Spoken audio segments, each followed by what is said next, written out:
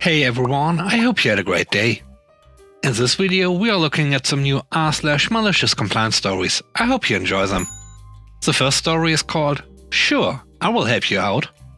This happened to me when I was a field tech for a commercial restaurant repair company. The company charged $110 per hour, port to port. This means from the time I left the shop till I returned. Being from the southwest, I resemble much of the back of house staff, and working on ovens I was usually dirty as well. On this particular day, the chef had called in a service call for a convection oven that wasn't working. I had just finished ordering the parts when some top brass from the front office came in the kitchen to harass the back of house staff, I suppose. One dude in a pair of khakis and a button up asked me why the ovens were as dirty as they were, and I said, no idea. Well, you need to get them cleaned up. Now, usually I would have told him to screw off and walk out. But on this particular day, I decided to help him out. So I stayed a couple of hours and cleaned up his oven at $110 an hour. Of course, he disputed the invoice and threatened not to pay. But I had parts on order for another piece of equipment, and if you don't pay, I don't come back and put your stuff back together. So yeah, he paid. The next story is called Covering Against a Complainer. I used to work as an hourly technician, bottom rung of the service chain. We had a repeat customer that would come in for oil and tires.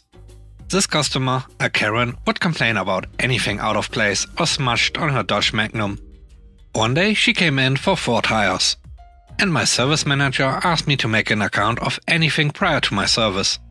I took four hours on her vehicle as she waited on an uncomfortable bench, writing up every smudge and scratch on the exterior of the vehicle. The final report was a 10 page manifesto on her station wagon, after which she never returned. I really hope she had to pay for the extra work time. The third story is called Break Compliance. I work part time at a pharmacy chain. I personally don't smoke, but all of my coworkers do.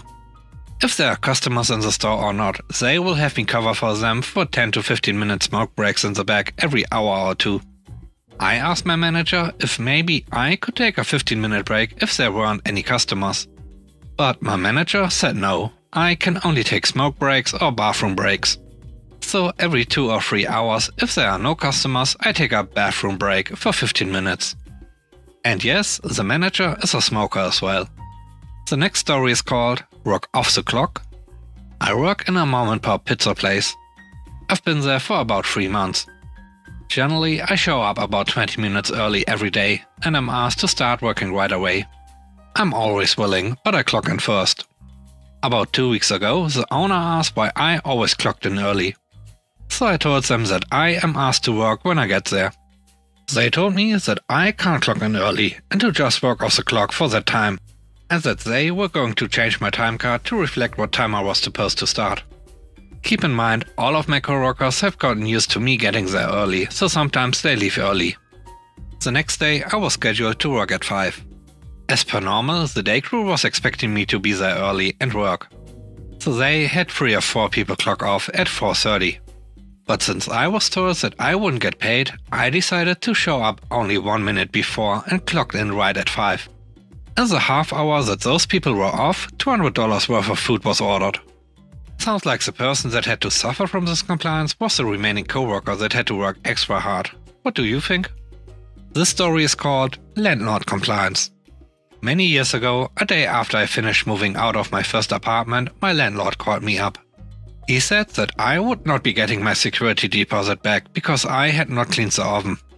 I didn't want to lose that $100, so I asked if I could come back and clean it. They said it had to be cleaned by a certain date, so I agreed that it would happen. On that day, I show up, ready to clean the oven. Only to open the door and see that they had, just that day, revarnished the parquet flooring in the apartment. I called the landlord and explained my predicament. They insisted that if the oven wasn't clean, I lost the deposit. Cue malicious compliance. I tied my shoes on tight and slowly rocked across the sticky varnish, leaving footprints with every step. It took me 30 minutes to clean the oven, and the varnish fumes burned my eyes and lungs, but I got that oven sparkling. The next day, I got a call from the superintendent of the building. He was yelling at me that I ruined the floor and that the new tenants were supposed to move in that day. He yelled that it would cost $400 to fix this. and that they had to delay the tenant moving in in order for it to dry. I calmly relate the fact that I had asked the landlord about it and was told that unless that oven was clean, I lost my cash. He apologized and said he was going to have some choice words for the landlord. Luckily, I had already dropped off my keys and got my deposit back. The next story is called Don't Be a Jerk. This happened in 2019 in the UK. I live in a tourist town, and as such, when we are in the town center, we often get tourists asking directions to this thing and that. No biggie most of the time. I just happily point in the direction and give as good of a description as I can. This Saturday afternoon in midsummer, I was with my family. We were in town and looking for a place to eat when a tourist stops me and asks where he can find the Citadel. Now, let me make this clear I'm in the north of England, only one place has what I know of as the Citadel, and that's around 5 hours away. So I politely say, sorry, I don't know what you mean. The tourist and his wife stop me and in a thick American accent say again, we want to go see your Citadel.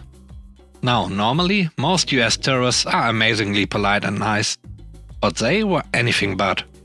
I repeated, I'm sorry, I lived here all of my life and the nearest citadel that I know of is in Carlisle, but that's but he interrupts me. He turned red and was shouting at me. I don't care what you think, you hillbilly, now tell me how to get there. He yelled at the top of his lungs, six inches away. So I calmly say okay, no problem, and I proceed to give him directions that will eventually lead him to a station nearby. The station is in a village outside the town. It will take him around two hours to walk there. He notes them down. I even point out landmarks he will see, real things I mean.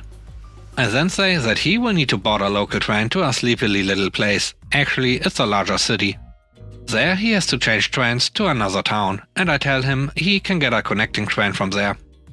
They smirk, and he says, Here you hillbilly, wasn't so bad to be nice, was it? And then he gave me a quarter. I have no idea if they followed my directions or not. But I made sure to give them the most convoluted journey I could think of on the fly. The lesson of the story don't be a jerk.